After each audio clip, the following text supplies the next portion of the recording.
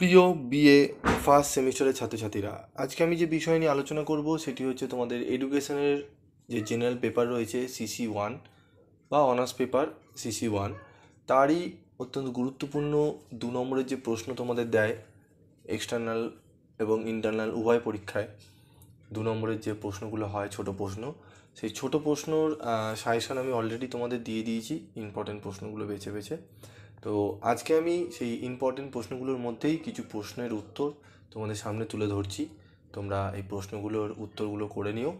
অনেকটাই to the point answer লেখা আছে। তোমরা আশা করি তোমাদের অনেকটাই সাহায্য করবে হেল্প হবে তোমাদের।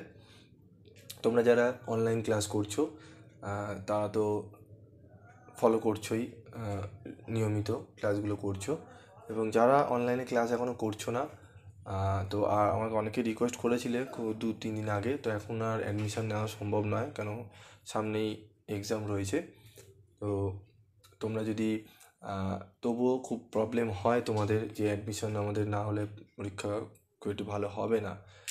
তার রিজন কোনো কিছু যদি তোমাদের সমস্যা হয়ে গিয়ে থাকে, তাহলে আমাকে অবশ্যই জানাবে। আমি চেষ্টা করব তোমাদের এই এক দেড় মাসের মধ্যে আমি অনলাইন ক্লাস দিয়ে দেওয়ার।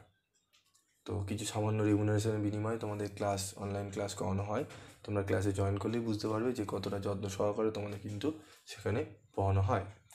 তো কথা না বাড়িয়ে চলে আসব মূল আলোচনায়। তো দেখো ভিডিওটি। তো প্রথম প্রশ্ন দেখো, শিক্ষার দুটি কাজ উল্লেখ করো, আমি ব্যাখ্যা করছি না, তোমরা দেখে নাও। বংশগতি ও পরিবেশ কি? ব্যাপক অর্থে শিক্ষা কি? আধুনিক শিক্ষাকে ত্রিমেরু প্রক্রিয়া বলা হয় কেন? তিনটি প্রশ্ন দেখো স্ক্রিনশট তুলে নাও পারলে, ঠিক আছে?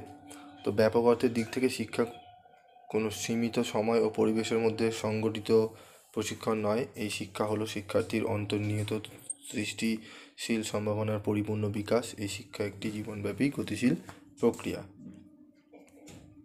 স্বামী বিবেকানন্দের মতে শিক্ষার সংজ্ঞা দাও। শিক্ষা হলো শিক্ষার্থীর অন্তর্নিহিতির নিহিত সত্তার পরিপূর্ণ জীবন বিকাশের প্রক্রিয়া। বৃদ্ধি ও বিকাশের মধ্যে পার্থক্য। বৃদ্ধি বলতে শুধুমাত্র দৈহিক বিকাশকে বোঝানো হয়।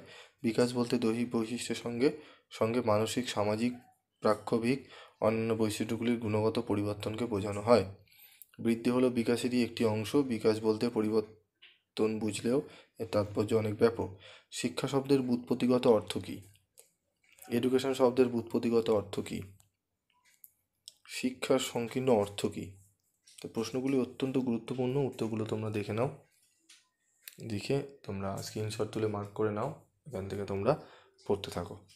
সামনেই তোমাদের ইন্টারনাল এক্সাম রয়েছে এবং এক্সটার্নাল সামনে পরীক্ষা রয়েছে, সেগুলো তোমরা দেখতে থাকো। এবং তোমরা যারা গ্রুপে জয়েন করবে গ্রুপে তোমাদের বিভিন্ন সিনিয়ররা রয়েছে, তো সেখানে তোমরা গ্রুপে থাকতে পারো। বিভিন্ন বিষয়ে তোমরা নোটিশ সংক্রান্ত বিষয়ে তোমাদের ওখানে কিন্তু দিয়ে দেওয়া হয়।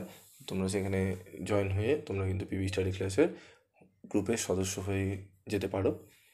সেখানে তোমাদেরও কোনো কিছু জানা থাকলে শেয়ার করবে এবং কিছু সমস্যা হলে সেখান থেকে তোমরা হেল্প অনেকটাই পাবে। সেক্ষেত্রে তোমরা জয়েন করে থাকতে পারো। শিক্ষার সংকীর্ণ অর্থ ব্যাপক অর্থের মধ্যে পার্থক্য কীরূপ রয়েছে, আলোচনা করো, দেখে নাও। শিক্ষার উপাদানগুলি কী কী? পাঠ্যক্রমের সংজ্ঞা দাও। সহ পাঠ্যক্রমিক কার্যাবলী দুটি উপযোগিতা লেখো।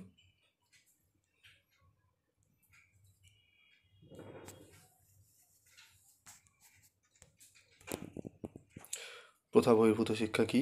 উপহার ও কাজ কাকে বলে? তো আজকে আমি পনেরোটি প্রশ্ন দিলাম এবং সাথে উত্তরও দিলাম। পরবর্তী ভিডিও ক্লাসে আমি আরও কটা প্রশ্ন নিয়ে কটি প্রশ্ন নিয়ে গুটি কয়েক প্রশ্ন নিয়ে তোমাদের সামনে তুলে ধরবো। তো আজকের মতো এইটুকুই, দেখা হবে পরবর্তী ভিডিও ক্লাসে সকলে ভালো থাকবে, সুস্থ থাকবে এবং অবশ্যই পিভি স্টাডি ক্লাসের সঙ্গে যুক্ত থাকবে। যারা নতুন, তাদেরকে বলব চ্যানেলটি সাবস্ক্রাইব করে পাশে থাকা বেল আইকনে ক্লিক করে রাখো। যাতে যখনই আমি তোমাদের জন্য এরূপ ভিডিও বানাবো, তোমরা তার নোটিফিকেশান সবার প্রথমে পেয়ে যাবে। এবং ভিডিওটি ভালো লাগলে অবশ্যই বন্ধুদের মধ্যে শেয়ার করে প্রত্যেককে জানার সুযোগ করে দেবে।